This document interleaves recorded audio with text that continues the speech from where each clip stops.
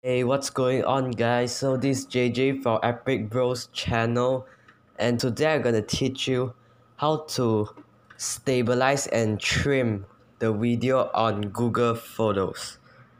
Okay, so before we get started, if, if you are new here, please subscribe to my channel and click on the notification bell. Thanks. Okay, so now let's really get started. So the first thing you need to do is go to your Google Photos. Next, you just click on one of your videos. I'll click this. After that, do you see the middle but button over there? Yeah, just click it. And finally, there you go. That's the stabilize button over there and this is where you trim your videos. See? Okay so thank you for watching this video and hope you guys have a nice day. Bye